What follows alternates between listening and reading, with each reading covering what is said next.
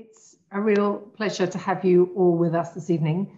Uh, this is our first webinar of the Hilary term. And um, I'm delighted to tell you that we have uh, registered tonight uh, 341 uh, registrants, including Anna's mum. So hello to Anna's mum, lovely to have you with us. And we have people joining us tonight from 14 countries on four continents. That's if you count Australia as a continent. So it's wonderful to be able to uh, connect with so many members of our community all over the world this evening. Uh, and it's a particular pleasure to um, welcome Laurie Maguire uh, to give our webinar this evening.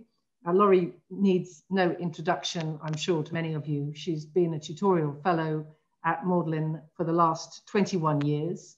She's written 10 books on Shakespeare and Renaissance literature. And for the past nine years, she has been a trustee of the Globe Theatre in London. Uh, her particular interests uh, include theatre performance and textual transmission. And that's really uh, the basis for the talk that she's going to give us this evening on Shakespeare's second thoughts. So thank you very much, Laurie, and over to you. Thank you so much, Dinah. It's lovely to be here for this webinar, and it's lovely to see so many names, if not actual faces, uh, on the attendance list. Uh, let me just share my screen so that we can all look at Shakespeare's second thoughts together. And it might not have escaped your attention that we're having this webinar on the feast day of Saint Agnes, um, which is January the 21st, and it's a day more typically associated with the Romantic poet John Keats than it is with Shakespeare. And that's because Keats wrote a long poem called The Eve of St. Agnes. Uh, in fact, I had a lovely Eve of St. Agnes party on Zoom last night with my students. And I mentioned Keats in a talk about Shakespeare's second thoughts because Keats was a poet who had a lot of second thoughts and very conveniently left us manuscripts showing his revisions. So I want to begin with one stanza from his Eve of St. Agnes poem. And I should just explain uh, that popular belief had it that unmarried women would dream of their future husband on St. Agnes's Eve.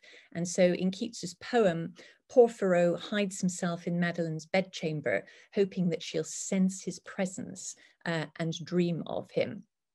And this is the moment when Madeline is preparing for bed. And you can see a lot of revising activity going on. Uh, Keats's first thoughts are the words that I've deleted in the body of the stanza. And the material that's highlighted in fluorescent yellow on the right of your screen shows Keats's revisions. I've tried to color code the material uh, so that we can see patterns of alteration. And in the first line then, red are the revisions that archaicize the vocabulary. Uh, they're medievalizing uh, the poem, exoticizing the atmosphere. But soon becomes anon, prayers become vespers. In the next line, the verb that I've highlighted in turquoise shows Keats making the act of unbinding her hair uh, a lot less purposeful. Uh, he's moving the action into a kind of slow motion. And think of those Hollywood heroines uh, who shake their long tresses free uh, or shampoo advertisements that do the same thing. And what's interesting is that the revision freeze now accords with unclasps in the next line. I've highlighted it in turquoise, but he's not made any alterations there. Uh, he's very happy with that. He leaves it as it is, uh, but he's making line two agree with line three. Then we get a spate of words in green, and they all seem to be removing explicit uh, physicality. Um, as Peter Barry points out, there's a kind of slight 1960s carry-on film tint uh, attached to bursting bodices and bosoms. So what Keats does is he changes sexuality to sensuality. Uh, he literally introduces um, the senses uh, of heat so that bosom in line three becomes warmed. Um, he introduces smell, bursting in the next line uh, becomes fragrant. uh, and he introduces sound. Fall, falls light, becomes creeps, rustling. The change in the next line is acoustic. Um, Keats changes the regular rhythm that's at the end of the line, uh, like a siren of the sea, almost jog trot regular, and he changes it by reversing the sound, reversing the syllables. So it becomes like a mermaid in seaweed. He's slowing down the action, he's slowing down the oral experience of the poem, and he's moving us into a dreamlike state, uh, which may be why he completely rewrites the next line to accentuate the state of being half awake, half dreaming, so that what we get now is this pensive a while uh, she dreams uh, awake. Um, much more concentrated than she stands a while in dreaming thought and sees, where you've got a lot of words that aren't really doing any poetic work. Uh, they're not earning their place in the line. She stands a while and sees. Uh, all that was really um, significant in that line was the two words dreaming thought. So he extends that over the whole line. And the final substitution that I've marked in red, the very last word, takes us back to the romance atmosphere uh, of line one. So fled is, uh, is much more emotionally motivated than dead, has a nice kind of kinetic action to it. Then Keats copied it out neatly, he copied it out tidily, and it looks like this. He's got really, really nice handwriting. And as Shakespeare critic, there is never a day goes by without my wishing that we had something like this for Shakespeare, a before version and an after version, as we do of many of Keats's poems. And one of the biggest changes in Shakespeare studies in my professional life has been the realization that Shakespeare also revised his work. Um, when I was an undergraduate, we were still enthralled to the notion that Shakespeare was not just a genius, but a god, and gods don't have second thoughts. And of course, we don't have any manuscripts of Shakespeare's plays. Uh, there's one partial exception where we've got 147 lines in a collaborative play. Uh, so we can't really see Keats, uh, can't see Shakespeare at work from start to finish in a, in a, in a work the way we can see Keats at work. Shakespeare's plays reached their original readers in printed single play editions. Uh, they were the equivalent of today's paperbacks. But within those printed texts, we can sometimes glimpse the underlying manuscript and see evidence of second thoughts. But the second thoughts don't look quite like Keats's second thoughts, and they come into different categories of revision. So I want to show you three different types. And the first is from Romeo and Juliet. Romeo and Juliet have just met at a, a ball uh, and they've fallen in love. It's almost daybreak and they're saying goodbye.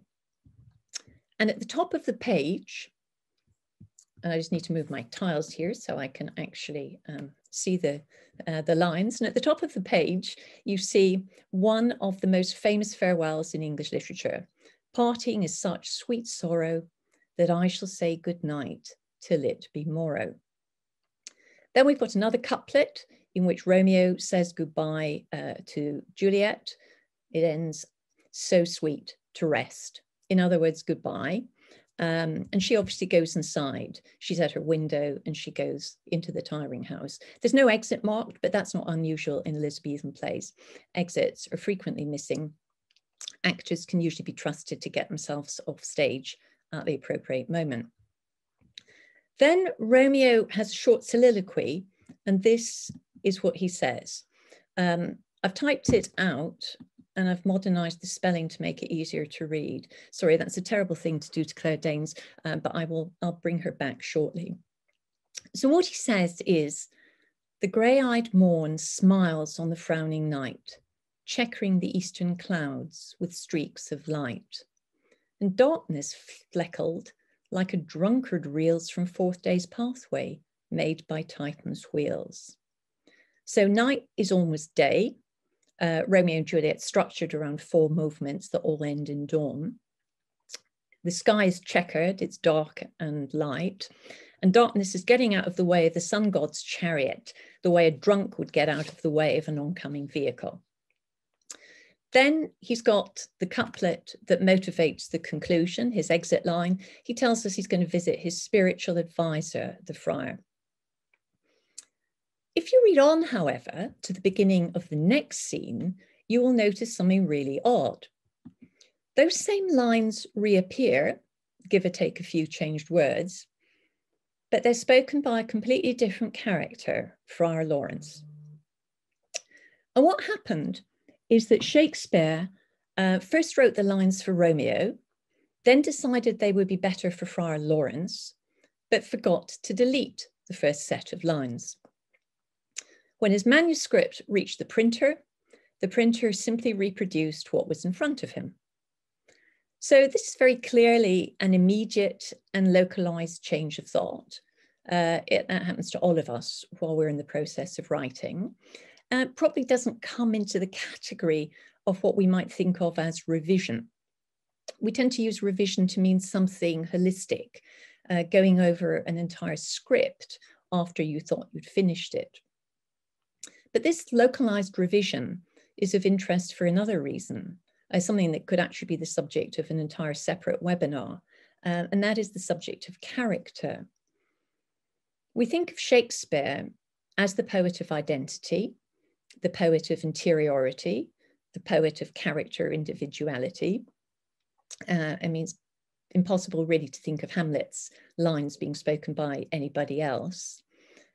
But what we see here is Shakespeare thinking first of lines and then thinking of who might say the lines. It's the demands of the scene that are paramount here. Does this scene need a lyrical conclusion? Or is it better to give the next one a lyrical beginning? That's the dramatist thinking, not the poet. So that's example one. Let's look at a different example. Uh, this one's from King Lear. And the scene that I want to look at is the one in which the Earl of Gloucester has his eyes put out by the Earl of Cornwall and Cornwall's wife Regan. It's a really violent scene, but I'm not going to show any violent pictures or um, violent moments from it. And in the course of this atrocity, uh, a fight breaks out between Cornwall and one of his servants, and Cornwall's killed. The scene ends with two other servants commenting on what they've just seen. They're appalled by Cornwall's cruelty and they determine to help the blind Gloucester. They're going to help him medically by binding up his eyes and they're going to help him physically by finding him a guide. And here is the sequence. So Cornwall's bleeding, and he asks his wife to get rid of Gloucester, turn out that eyeless villain, he says at line two. And then he wants to dispose of the dead servant's body, because it's really important to tidy your stage. Throw this slave upon the dunghill, he says. Then he realizes how badly wounded he is, and he asks for his wife help in exiting. I bleed apace. Give me your arm. And we've got the exit stage direction. But two servants stay on stage to comment on what has just happened. And the first says he'll do anything to prevent Cornwall thriving. I'll never care what wickedness I do if this man come to good. His colleague says, if she dies a natural death, there's no justice. If she live long and in the end meet the old course of death, women will all turn monsters. The other one gets practical. He says, let's get Mad Tom to guide Gloucester. Let's follow the old Earl and get the Bedlam, the madman, to lead him where he would, wherever he wants. Uh, he's very flexible. His roguish madness allows itself to anything. You do that, go thou, the other one says. That's your job. I'll get bandages and ointment. I'll fetch some flax and whites of eggs to apply to his bleeding face. Um, and the medical humanities um, person in me is always really interested in these little medical details in Shakespeare. But in terms of dialogue and its place in the scene, for me, this dialogue is a hugely important part of the play. It's a glimpse of a world that has compassion. And the dialogue works for me the way the chorus does in Greek tragedy. Uh, it gives me a bit of breathing space, gives me a chance to catch my breath after the cruelty that I have just seen. Lear exists in two versions, and the version that we're looking at here is the version that was published in Shakespeare's lifetime in 1608, immediately after the play was written. But the version that was printed in 1623 in the posthumous collection of Shakespeare's works doesn't include this dialogue. And the scene ends like this. Um, Regan's helping her husband off stage. We've got an exit direction for the two of them, and that's it. From other evidence, we're fairly confident that the manuscript that lies behind the first printed version of Lear, the 1608 version, is Shakespeare's papers. And the copy that lies behind the 1623 folio is what we would now call a prompt book. The Elizabethans didn't have that, that word, but that's what we would recognize it as. It's a version of Shakespeare's manuscript that was marked up for use in the theatre. So that means we can see the missing dialogue as a cut that's made in the folio version. Uh, that cut may be made by Shakespeare, uh, or it may be made by the theatre company uh, in performance with Shakespeare's approval. But it's worth our while here thinking about the reasons for that cut. And those are practical theatre reasons. Gloucester's just had his eyes put out, and in production that would involve applying gore to his eyes on stage. Uh, fake blood, the stage blood, might even have got squirted over his costume. Gloucester enters nine lines into the next scene with his eyes bandaged. In fact, you can see in the folio, we've got the entrance direction there for Edgar. Uh, Edgar in disguise as Mad Tom the Beggar. Gloucester's going to be brought to him in just a few lines. So the dialogue between the servants at the end of the previous scene in the quarto version is there to give Gloucester time to exit, time for someone to wind a bandage round his eyes in the in the backstage tiring house and for him to get into place for entrance early in the next scene. So the compassionate dialogue that I like so much is there not because of its compassion, but because we need time at the end of that scene. We need to extend time. It's um, actually much easier in modern productions to do that transition. It's amazing what you can do with a pair of dark glasses. So why might that dialogue not be necessary in the text printed in the folio? One of the things that happened in 1608 was that Shakespeare's company acquired a new theatre, the Blackfriars Theatre, uh, which was an indoors theatre. Uh, and there's a version of it in the beautiful Sam Wanamaker Playhouse in Shakespeare's Globe. This indoor theatre was lit by candles. You can see here 72 candles at the Wanamaker. And that is when Renaissance plays introduced act divisions. Plays became divided into five acts, and there was a short interval at the end of every act while the candles were trimmed or changed. No play in print before 1609 has act divisions. And that short interval, uh, music was played throughout uh, the act interval, and we've got lots of stage directions for post 1609 uh, plays that say music plays throughout the act interval. Uh, and that short interval gives you plenty of time uh, to bandage Gloucester backstage. So the quarto dialogue's initial practical purpose is now redundant and it can be dispensed with. This is practical theatre speaking, not poetry. Someone is keeping an eye on the running time of this play. Someone's keeping an eye on the candles. And throughout Shakespeare's text, we often see practical dramaturgy trumping poetry. Hamlet has a missing soliloquy uh, in the folio version of Hamlet. Um, Horatio's long speech in Act One of Hamlet about all the portents in Julius Caesar's, um, um, the night before Julius Caesar's assassination, that gets cut. Desdemona doesn't sing the willow song in the quarto version of Othello. And there are practical reasons behind these changes, practical reasons to do with audience attention span, uh, to do with the pace of the play. Uh, act fours of plays often get a lot of cuts. Um, practical reasons to do with different actors' musical ability. This one can sing, this one can't. But that's not to say that Shakespeare doesn't sometimes revise like a poet. So for my last example, I want to go to Midsummer Night's Dream. And Act Five of this play opens with a fabulous speech by Theseus, the Duke of Athens, about the imagination. And Theseus says the lunatic, the lover, and the poet are all made of imagination. What they have in common is that they see things. And this is what the speech looks like in the first printed edition. Um, and I've typed it out to make it easier to read. Uh, but let's first unpack what Theseus is saying because it's so important. So in the first three lines, he says, lovers and madmen are very imaginative. They've got boiling brains, seething brains. Then he says that lovers, madmen, and poets are very imaginative. and at this time, um, poet was a technical word for dramatist as well as a lyric poet. Uh, when we've got accounts books from Philip Henslowe, the theatre manager, uh, paying dramatist, he talks about them as poets. So we've got the lunatic, the lover now combined with the, the dramatist. It means lyric poet as well, of course. Then Theseus gives examples of how imagination manifests itself in those three different categories. So the madman sees devils. The lover thinks his girlfriend is as beautiful as Helen of Troy, the most beautiful woman in the world. He sees Helen's beauty in a brow of Egypt. and that's Amore. And the poet is all over the place between heaven and earth. Um, and he embodies what he imagines in writing.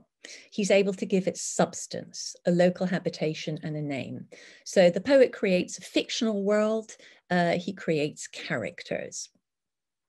Then Theseus ends with two examples of positive and negative imagination uh, in the last uh, few lines. He says, if you conceive of something joyous, it will happen. So imagination is the power of positive thinking. But simultaneously, if you're really anxious, if you're scared of the dark, you will imagine that a bush is actually a bear. Now, I want to think about uh, the poetic meter of this speech because it's a regular iambic pentameter speech, although it is not laid out on the page as such. And we need to work out what was happening in the manuscript beneath the printed text. And that's one of the things that textual critics do for a living. So what I want us to do um, is to mark out the line ends, not where the printer has ended the line, but where the poetry ends the line. So after every sequence of five strong stressed um, syllables. I actually wanted to do this interactively. I was I was really motivated by Alexei Karanovska's webinar on magnetism last year, uh, but it got a bit laborious. Um, so I've gone for the cookery show model instead, um, and I'm going to take out of the oven um, something that I made earlier. And that is this slide with the, the red uh, vertical lines. And if you look at the red um, bars, you'll see I've marked the end of each line of iambic pentameter. If you were to read the speech aloud, you would see that it's entirely regular iambic pentameter. There's nothing irregular about its sound, but you can see that it is printed on the page in squashed up metrical lines, two metrical lines to one line of print. This is a printer who knows what iambic pentameter looks like because he gets it right elsewhere in the play. So why doesn't he get it right here? I'm going to put in bold the lines that are extra long in print, um, the ones that make metrical sense, but they overrun uh, on the page. And you can see that they are linked by one thought, and that is the poet. These lines were probably interlined in the manuscript. They were probably Shakespeare's second thoughts. If we take them out, which would be one way to test the hypothesis, this is what the speech looks like. And this is a very straightforward speech about two kinds of people with over imaginative minds. Uh, we've got lovers and we've got madmen, the subject of the opening line. And then we've got an example from each one, the lover, and the other, uh, one, the madman, and the other, the lover. But Shakespeare decided to add a third category, the poet. So he put in a line that links all three, and he inserts it almost like a second beginning. Now he needs a third example of the poet's imagination to balance the first two, and it goes in its logical place after the first two examples. And he really goes to town on the poet. There's much more space devoted to this than to the first two categories. So Shakespeare's writing like Keats here. He's revising for thematic reasons, for reasons to do with his content, but not quite like Keats. He's inserting units rather than changing individual words. Now, the critic who first noticed this metrical blip in the 1920s um, thought that these revised lines were added much, much later. And you can see why he thought that, because they're actually poetically um, a lot more complex than the lines in the original speech that they are joining. But this suggestion hasn't caught on, uh, and it's not one that I would endorse for two very simple reasons. I think this revision takes place pretty quickly. Um, and I one of the reasons for thinking that is that the speech has two beginnings. It's got a duplicate beginning. And I think that we might be rather like the Romeo and Juliet example here, that Shakespeare may have intended to delete the first two lines and begin the speech with the lunatic, the lover, and the poet. And we've got other examples uh, of Shakespeare uh, having second thoughts immediately and not deleting the first, um, the first lines. But the second reason for thinking that this is immediate revision is that the poet is such an integral part of Midsummer Night's Dream from the beginning. This is a play about imagination and its opposition to reason. And the play explores imagination in three spheres. It looks at imagination in love, in madness, and in poetry. It sounds out each in turn. So at the beginning, we're told that Lysander and Demetrius are equally rich equally well derived. So why does Hermia love Lysander? There is no reason at all. Love is irrational. We're also told that Demetrius loved Helena before the play began, but now he fancies Hermia. Why? No reason. Love is irrational. And in fact, Egeus's accusation, the Hermia's father is Egeus, and his accusation against Lysander is that Lysander imprinted himself on Hermia's imagination. He sent her love tokens, music, poems, the Elizabethan equivalent of Valentine's cards and CDs. So the love plot looks at imagination in love. The central part of the play, The Mayhem in the Woods, explores the dark underworld of the imagination. This is the scary, threatening world of nightmare, uh, where couples get the wrong partners and where the fairy queen can love a donkey only to have her rational self reject it when the magic juice is removed. This is a world where a husband can suspect a wife of infidelity. Oberon thinks Titania's interested in Theseus, and she tells him these are the forgeries of jealousy. Jealousy, in other words, is imagination gone wrong. Uh, he's given a local habitation and a name uh, to jealousy. And remember that all this chaos in the wood takes place by moonlight. This is a lunatic world, quite literally. Uh, a lunatic, etymologically, is someone whose reason is affected by the moon. So the first four acts of the play look at the lunatic and the lover, and now it moves on to the poet. Act five is the play's exploration of imagination in drama. And the thing that always amazes me about Act Five of Midsummer Night's Dream is that there is no need for it. There is no plot necessity at all for Act Five. The plot's all finished at the end of Act Four. The lovers have been paired up correctly. Um, Theseus overrules Egeus and says it's okay for Hermia to marry Lysander. In fact, the lovers can all get married at the same time as him. That ought to be the end of the play. Instead, we get Pyramus and Thisbe, uh, which is a play staged by amateur workmen who totally fail to understand the role of imagination in drama. They think that the audience is so under imaginative that they won't imagine a wall unless there's an actor physically portraying a wall. But at the same time, they think the audience is so over imaginative that they will think the lion is real and will frighten the ladies. So, what they do is systematically destroy any appeal to the imagination that the play might have. They don't understand the transaction that every play makes between audience and performers, which is a transaction based on our use of imagination. And when the mechanicals have been rehearsing in the woods and when they're worried about whether the moon shines the night that they're going to play, because they're a bit Pyramus and Thisbe meet by moonlight, the audience can hardly fail to reflect that Shakespeare's entire play takes place by moonlight. And he has no difficulty introducing it at all. He does it by poetry. There are actually over 50 references to the moon or moonlight in Midsummer Night's Dream. That's how you bring moonshine into a play. So all of this is to support the point that Theseus' speech at the, at the start of Act 5 is the big manifesto speech for imagination. And it's an area that Shakespeare took great care over. There are 20 misaligned lines at the beginning of this scene. They're in eight passages, not just in the speech that I've shown you. And they're all about the effects of drama. Shakespeare is tightening things up. He's reworking as he writes. Is this the same thing as revision? As I said at the beginning, revision tends to mean wholesale rewriting. We saw Keats changing words in every line. While it's true that several Shakespeare plays exist in two different printed versions with lots of verbal variants, one popular theory is that Shakespeare revised his plays for print, making tiny lexical adjustments. I was quite keen on this theory uh, when it was first proposed uh, in the 80s and 90s. Now I'm less sure.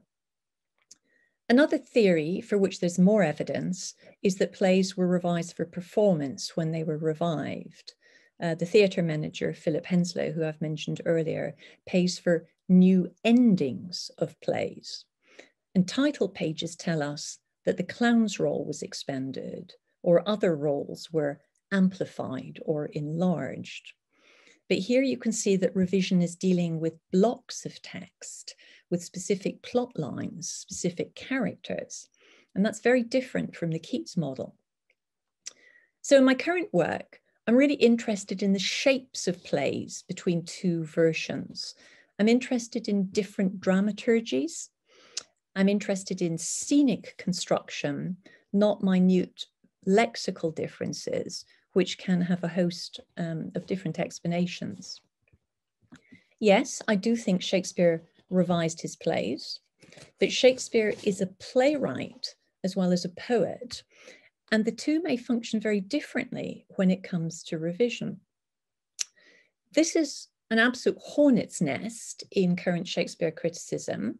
Uh, it elicits unbelievable hate mail in the pages of literary journals. People feel very passionate about this subject, very partisan. Um, so I've deliberately chosen today to avoid global theorizing and give you just three small examples of Shakespeare and his company at work. So Romeo and Juliet looking at scene construction, King Lear looking at changing theatrical conditions, and Midsummer Night's Dream tightening up thematic content. So I'll leave you with that for now, and I will get my screen back, I hope, so that um, I can have dialogue with Dinah, Dinah that I'm very looking forward to. Thank you very, very much, uh, Laurie. That was absolutely fascinating. Um, can I just say to people, I should have said this at the outset, and my apologies for failing to do so, but uh, we've got questions coming in. Uh, if you look at the bottom of your screens, you will see that there's a little button marked Q&A. Uh, so if you have any questions for Laurie, please uh, click on that button and you'll see a panel comes up uh, into which you can type questions. Uh, so, so I can put them to Laurie as part of our, our conversation. Um, I had a couple of questions of my own first. Um, one thing I was wondering was the difference between a play and a poem. Um, I mean, a, a, poem like the Eve of St. Agnes is a, is a single definitive text that gets published in an edition that the poet has authorized. But can we ever talk about a play in quite the same way? And you've shown us how uh, in King Lear, when, when the theatre changes, the needs of the text change and you get a different version. Um, in Othello, you get an actress who can't sing, and so you cut the Willow song. Uh, can you ever talk about a play as having a single definitive text, or at least a Shakespeare play as having a single definitive text, or is it actually constantly a work in progress, uh, a practical working document? Yeah, that's such a good question. And it's just so relevant because drama is not a static phenomenon. Actually, poetry wasn't in Shakespeare's day either because poets, uh, poems circulated in manuscript. Uh, it, you know, it wasn't really very uh, literary to publish your poems. So there's lots of different versions of John Donne's poems, for instance.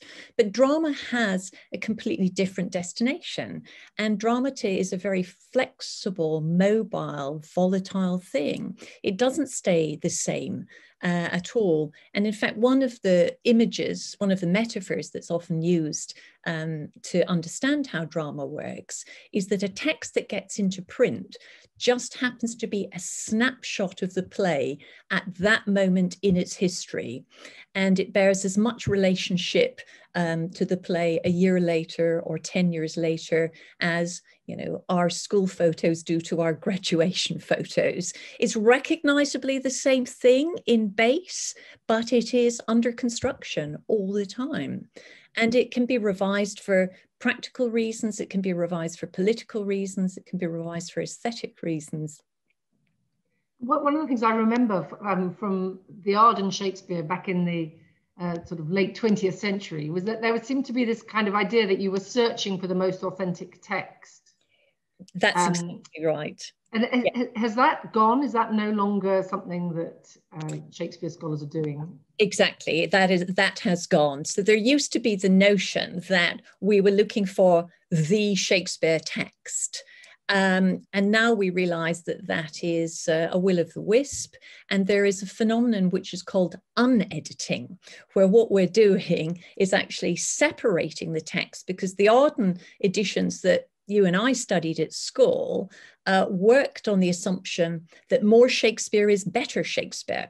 So they take lines from this version of um, King Lear and lines from this version of King Lear and put them together in one Arden King Lear. And the one thing you can be sure of is that Arden King Lear is a text that Shakespeare certainly didn't write. Mm-hmm. Um, so now we've been disaggregating them, um, which is great for publishing houses because it means you have to go and buy the quarto version of King Lear and then the folio version. Yes, I mean, I think that doesn't the, late, the latest Arden's got two or three different Hamlets in the one Three Hamlets. That's yeah, right. Yeah, yes. Yeah. so, so, some questions that we've had coming in. Um, one question is Would we think better or worse of Shakespeare if he had not rewritten his texts? And that comes from Stephen Potts. Yeah, isn't that interesting? So, Stephen, the answer to that is it really depends what century you're in, whether you would think better or worse of it. I think for until very recently, there was the the reverence that felt that um, literary people didn't need to work at their literary work. Um, there's a wonderful book actually by Hannah Sullivan, who's a, a, tutor at New College, called The Work of Revision. It's about modernist writers and modernist poets. Um, and she looks at what happens uh, when the literary professions become professionalized. And I think for so many years, I mean, centuries, we were reluctant to see Shakespeare as a working man of the theatre. And as soon as drama entered our, um, our field of vision, uh, in the 80s, Shakespeare Man of the Theatre was suddenly the title of books and articles everywhere. Um, we started to look at things like collaboration with theatre companies, that he would make decisions based on actors' abilities, or he might create characters based on actors, um, and that everything was up for grabs. So we now like the idea uh, that Shakespeare wrote things more than once. Um, question here from Napoleon Ryan. Are there original Elizabethan or Jacobean actor Q scripts with variant Shakespearean text still extant? And he says, I dimly remember being told during rehearsals for a production of Hamlet years ago that the actor playing the comparatively small part of Marcellus in one of the earliest original stagings of the play had written or released a version of the play where Marcellus's part had been notably enlarged, a sort of early Rosencrantz and Guildenstern are dead exercise. yeah, well, the first part of your question um, is really uh, spot on. The Marcellus enlarging his own part is a kind of urban myth. Um, so Elizabethan actors didn't get the whole play. They only got their part. This is pre-photocopier, okay, pre-Wi-Fi printer. Uh, what is odd to us is that they also only got between one and three words of the speech in front of theirs, one that they were going to reply to. They didn't know who said it. And that's what's called the cue script. Okay, so they get their script and it's got its cue words. So your question, Napoleon, is are there original Elizabethan or Jacobean actor cue scripts? We've got one, Edward Alleyn's part of Orlando in Orlando Furioso. Uh, we've got a handful from academic drama, um, that's plays put on by students at Oxford and Cambridge. Some of them are in Latin, there's a couple in English, and there's more uh, on the continent in uh, French and German. Uh, so they do exist. And those, I mean, that's the problem with Pyramus and Thisbe, isn't it? That we're told Thisbe speaks all his part, cues and all. That is the amateur. Um, there's never been a suggestion uh, that's caught on that these parts were instrumental in reconstructing a text that got to the printer. Uh, although there is one oddity, which is in Quarto 2 Romeo and Juliet, where the nurse's part's in italic. Um, and the suggestion there is that um, there was a problem with the nurse's part in the manuscript that the printer got. So they went to, they somehow got hold of the part to help supplement it. Um, but there was a, for a long time, a notion that actors were reconstructing text from memory not from their parts. And Marcellus was the one who was identified for Quarto 1 Hamlet. Um, but um, the jury's out on that currently. Of course, Bottom is the prototype of actors who want to play every part and absolutely have all the lines. Yeah, yeah, yeah. um, question here from Tony Furnival. To what extent do we, as theatre goers or movie goers, need to have an image of the creative artist as a divinely inspired person rather than a very pragmatic craftsman. You cited wonderful examples of a pragmatic playwright, and I could not help but be reminded of the almost cold-blooded pragmatism of Ralph Vaughan Williams when writing film scores where timing is paramount. Do we have an emotional need for incandescent creativity? Beautifully worded question. Yes, exactly. I think television has helped us get rid of that emotional need if we ever had it. Um, you look at um, the script writers at the end of, you know, Succession or any you know, Netflix series, or you look um, in the cinema uh, at script writers, and you see that this is just a fantastically practical industry. Um, and you know, there are suggestions that the poet in Shakespeare is at odds with the practical dramatist in Shakespeare, uh, which is to say, Shakespeare's plays are longer than any of his fellows. He's regularly writing plays that are 3,000 lines. And we know that nobody else is writing that long, and that doesn't seem to fit um, the running time of an Elizabethan play. So the question is, what does he do with these superfluous lines? Is he resigned to the fact that they're going to be cut in performance? Because we do have title pages and prefatory epistles of plays by other dramatists that say you're reading more than was said on stage because the actors couldn't fit it in. Or was he always writing with a view that the longer version would be published? And there's no definitive answer to that because it's a very um, partisan um, argument. I mean, there's people in both camps very logically. That's one of the reasons why Macbeth's always seemed to me to be such an incredibly satisfying play because it's so short and tight. The complete text can be performed. I mean, people sometimes cut a bit of the, the Hecate scene or whatever, but but basically you can perform the whole text and, and it's done in two and a half hours. Yeah, we we like that a lot. So, but the question is, is that our 20th and 21st century uh, aesthetic or attention spans. because Shakespeare's comedies are shorter than his histories, and his histories are shorter than his tragedies. And Macbeth is a complete outlier. I mean, it's just longer than Comedy of Errors, which is the shorter play. For a long time, people were saying, oh, it's because Shakespeare's got his finger on the pulse of the new monarch. You know, James I famously didn't like long plays. Now, the current thinking is that Middleton, who added the Hecate scenes, also cut material in it. Um, but it's a really interesting example, as you say, of something that works aesthetically. The concentrated nature of that, the fear, the suspicion, the tightness of that um, is just wonderful. Um, and so there can be really good payoffs for things that start with um, a different origin. Got a question here from Svenja Helmo, the current JCR president. Hello, Svenja. Uh, is uh, Romeo and Julia, Juliet's bad quarto so obviously not Shakespeare that it is beneath consideration? Actually, Romeo and Juliet's bad quarto is one of the better bad quartos. Uh, and there is quite a considerable support at the moment for the view that that could be um, a version I mean, a legitimate version. Uh, and the problem with the term bad is it's so qualitative. And what we should really be saying is, you know, it's the short version. It's certainly now well documented that Henry Chettle had a hand in one scene. Um, so once you see that, it opens the door to seeing goodness elsewhere in that quarto. And the problem is with comparative thinking that bad quartos always seem bad in association with the version that we have become so familiar with and that we are so in love with. So the so-called bad quarto of Hamlet was never discovered until 1823. And Hamlet's famous to be or not to be soliloquy has as its first line, to be or not to be, I, there's the point. That line never stood a chance because we'd already had 200 years of that is the question. Um, so I think it's very hard for us to unlearn our attachments.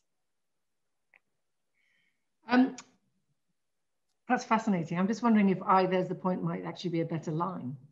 I don't know. Well, actors will defend it, in, yeah. indeed, yeah. um, here's a, a question from Dave Morris. I'm curious as to whether there's any work in deep learning analysis of lexical patterns in Shakespeare that would highlight outliers in the text. Can you tell us first what is deep learning analysis of lexical patterns?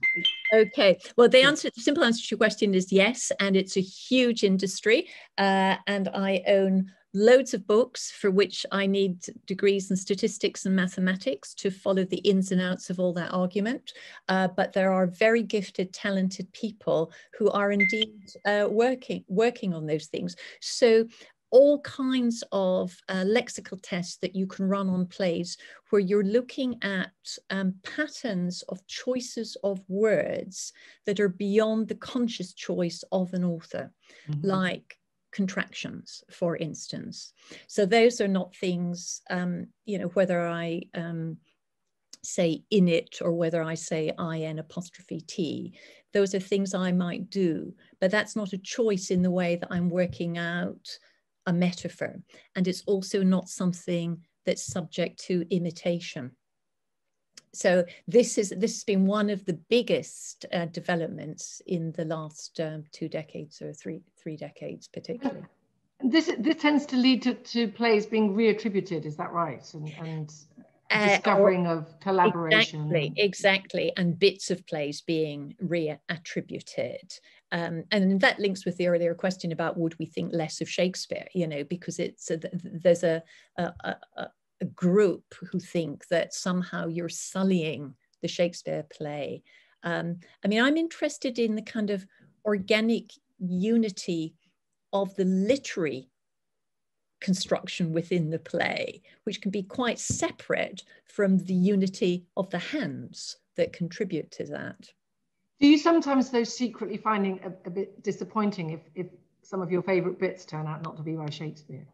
Um, it's only because we have elevated the Shakespeare industry uh, in the and created the Shakespeare industry so that you know he is the paradigm of Renaissance writing. Are there any of your favourite bits that turn out not to be by Shakespeare?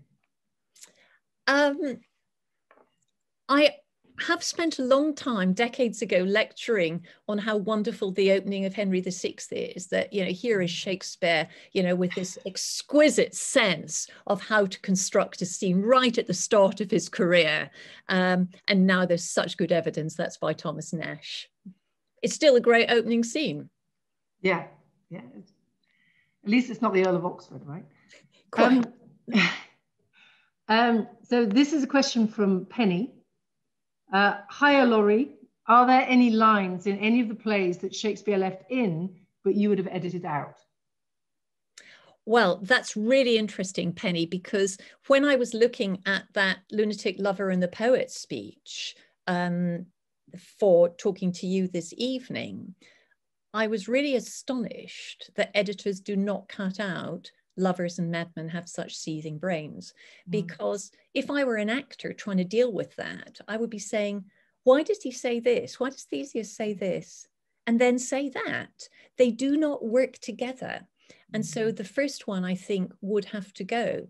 And the fact that it's never been edited out, I think, shows how wedded we still are to the kind of more Shakespeare is better Shakespeare notion. Of course, it may get edited out more in performance. Yeah, and actors, I have learned more from sitting in on rehearsals, talking to actors, watching directors at work uh, than I have from Shakespeare books. because actors will turn around and go, I can't say that. They've got to make they've got to make it work. They just ask really practical questions. I, I, I remember academics, I should say, are now catching up with actors. You know, theatre is big business in Shakespeare studies. The, the worst experience I had of this um, was when I was in a, a, production of Macbeth. In fact, while I was at Oxford, um, it was an out production that we took around Kenya. And um, the man who is now my husband, but who was not then my husband, uh, cast me as Malcolm, which I regarded as a personal affront. but um, Malcolm has an appalling line when, when he's told, Your royal father's murdered. Mm. He replies, Oh, by whom? Yeah.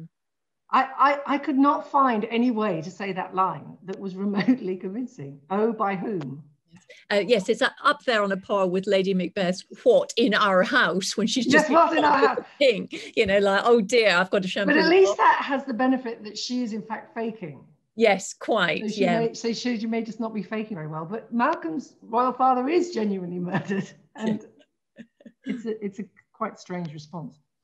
Um, here's a question from David. Thank you so much. You mentioned the change in Lear, which addressed the change in theatre practice have you or anyone else engaged in a thorough examination of the differences between the quarto and folio versions in terms of stagecraft?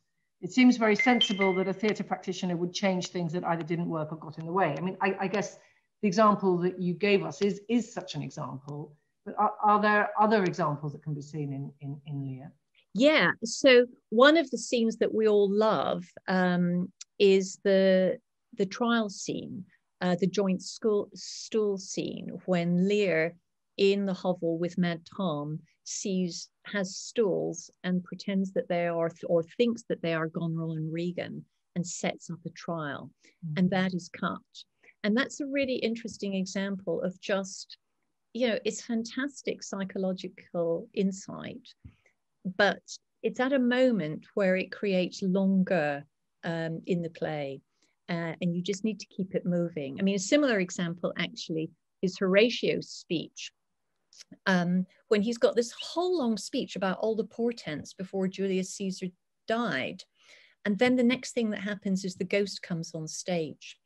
And it is quite clear that pre Steven Spielberg, pre CGI, what you don't want is the audience losing attention on Horatio and then watching an actor walk across the stage as a ghost. You want suddenly to look at a ghost and think, oh my goodness, where did he come from? Mm. Um, so you cut the speech uh, mm. lest it um, distract. I was wondering about, about the, the Lear example. Um, I mean, you, you, you made the very good point that that exchange between the servants gives you a feeling of a world in which there is compassion. And I wonder if there's there might be an artistic reason for cutting it as well as a stagecraft reason, which is that it, having that speech not there increases the extraordinary bleakness of, of Lear. And maybe that's what Shakespeare wanted with that play. Well, quite. I mean, that's just a wonderful observation, and you're you're right on the on the page with other Shakespeare critics there who say that it is very clear that the cumulative effect of the cuts, the cumulative effect in the folio text of the cuts in the quarto text, give you a world that has no hope, no compassion, no theology, nothing. Then it's very easy to say that is the reason for the cuts. And that's what I think um, is more problematic for critics to know what is cause and what is effect. Yeah. But he, because he must have been aware of the effect. Yeah, and Shakespeare was um, because he's a sharer in his company. Normally, uh, dramatists have got no control over their manuscript once it's sold to the company, but because mm. Shakespeare's a sharer, he does have control, and one assumes that any change they made had his approval. It's interesting, particularly because you'd think that that might not play so well with audiences. I mean, we, we know, of course, that, later that later King Lear had a happy ending uh, yeah. tacked on because it was so unbearable. Yeah. And, you and wonder, the I mean, you know, King Lear, his source had yes, a had a happy ending. So, so, so what he does is is gratuitous, and yeah, you wonder what what what's what's going on there. It, okay, that is the one Shakespeare play I cannot read in a single sitting it is just too much. You know, when King Lear says in the Heath, pour on, I will endure, I think that's the mm. experience of the reader with that mm. play. Like, this is too much. So I need a break in that one. Um, and there's lots of you know biographical readings that this is the moment when Shakespeare was having a nervous breakdown because you're right that the the world vision in that play is seriously seriously depressing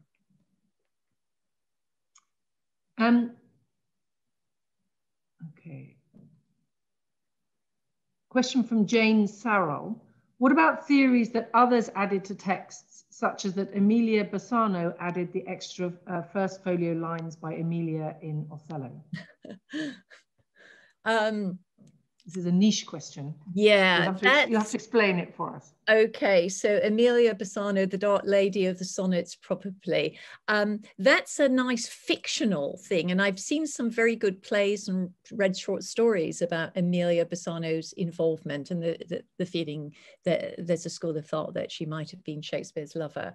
Um, what is very interesting, though, is that the current thinking based on comparison of Q Q Othello and the Folio Othello um, is that the folio came from Shakespeare's script, manuscript, and the quarto represents the acting version. So the, the folio is the longer version written by Shakespeare, and your suggestion is that Shakespeare wrote it with help from Emilia Bassano. It's a lovely idea. No evidence, I'm sorry, but it would make a great play. And uh, final question. Um, in fact, there, there are two questions which I guess uh, both go together. One is, is there an example of Shakespeare revising or cutting text to avoid censorship? And the second question is, is it right that Falstaff was originally uh, Oldcastle? Um, yeah, and the answer to both of those is yes. Yeah. Shakespeare, I mean, one of the things that's really interesting about censorship is it's the external political legal force that most closely collaborates with the creative imagination. So it's not quite as simple as I wrote this, the censor cut it out, I had to rewrite it, because you kind of know when you might be on the edge. Um, and that's not to say that we don't have plays that are heavily censored. So Sir Edmund Tilney censors the manuscript of Sir Thomas More. And he says, you know, leave out the insurrection, the opening scene wholly, uh, and begin with. And he's basically saying, cut out everything that is dramatic about this. Um, Falstaff was originally called Oldcastle, yes, and it wasn't the censor that overruled that one, uh, but it seems to be the Cobham family um, who were descendants of the original Oldcastle. Um, and they objected to the kind of scurrilous uh, representation in the Henry IV plays of their ancestor, who, who was a Lollard uh, martyr. A Lollard martyr actually with a modern connection, in fact. Um, and we still have the pun in Merry Wives, where Falstaff is referred to as my old lord, old lord of the castle uh, or lad of the castle, uh, punning on his name, even though he's not called Oldcastle anymore. And Presumably he can't have been called Falstaff when Merry Wives was written, because that's written after Henry IV. Uh, that's right. So, in, it, yeah, so it must be just an in joke to, to get a, a, a, laugh from the audience who, who well, know the genesis of the Merry Wives text is interesting, but that is the logical conclu- logical deduction. Yes, and we've got that in joke also in the epilogue to Henry IV Part Two, where um, the epilogue says, if you like the story, um, our author's going to continue it, make you merry with Fair Catherine of France, uh, and you'll see more of Falstaff. Um, um, um, and that's not Oldcastle because Oldcastle died a martyr and this is not the man. You know, saying, we know this is Oldcastle, but we just can't say it's Oldcastle. So it's, it's a bit like um, the elaborate apologies that you sometimes get on satirical programs when they've yes. been forced to apologize. That's exactly right. Yes. Well, I suppose that the, the, tub of lard standing in um, yeah. for, for, the politician on um, not the yeah news quiz. So um, that's uh, been absolutely fascinating. Uh, th thank you so much, Laurie. Um, I think we're going to have to uh, call it a night there. Um, we could have gone on for a significantly longer period of time. Um, I think this, this, way into the uh, Shakespeare, seeing him as a working dramatist uh, is so uh, enriching and, and fascinating for us. And the final thing I wanted to say is listening to you has made me even more just long to be back in a live theatre. Uh, yes, you and me both. the modern well, player is the first opportunity we get. Yeah, yeah, back in the President's Garden. So yeah. th thank you, thank you all so much for joining us tonight. And um, our thanks to Laurie for an absolutely fascinating evening. Thank you very, very much. And we hope to see you all soon. Bye-bye.